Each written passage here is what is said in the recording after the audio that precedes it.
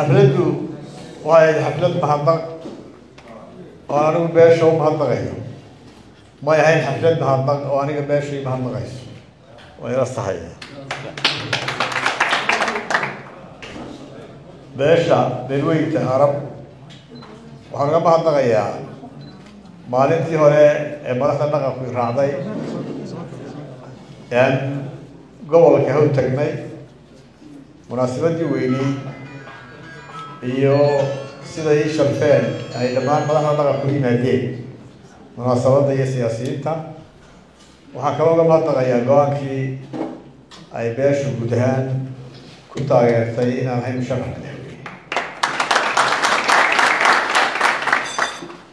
waxaa kaloo ka marag furaya arrintii uu suldaan rashid sheegay ahayd beel salaadiinteedii iyo ogaasyadeedii iyo uqaasheedii iyo siyaasiyiinteedii hablaheedii iyo iyo guddiyadeedii isu dhami oan arab mii jirtay marka taana waan uga mahadnaqaya waana uga mahadfuraya somaliland dee taariikh weyn baa kuleediin oo kusutantiin ama halgankii ha noqoto ama gobolkii hawd ha noqoto ama qaramayntii ciidamada ugu horreeyey ha noqoto maantana waxaan is leeyahay badbaadada horta kowkati badbaadada somaliland marka labaadna dee talada inaad ka mid noqotaan dadka hogaaminaya isbedelkana aada baan idinka mahadnaqaya. Maanta somaliland waxay isku raacsan tahay inaynu doonayno somaliland ta maanta ka qurux badan.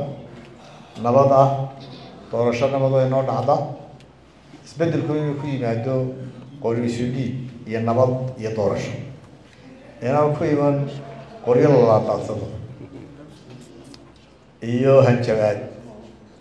Iyo waxbaan xedhaya aanu ku iman laakiin ku yimaado tartan. Madaxweynehana waxaan leenahay dee musharaxa baa tahay. Waa la tartamaya ayaan si wanaagsan u tartama haddii yidhaha aada iyo aad baa mahadsantihiin insha allahu waxaa inoo dhici doono doorasho nabada. Nabadana aynu wada ilaashanaynu ubahan nahay. Wixii xasilooni darre ku saabsanna ee nabadda inaga xumeynayana aynu meel uga soo wada jeesana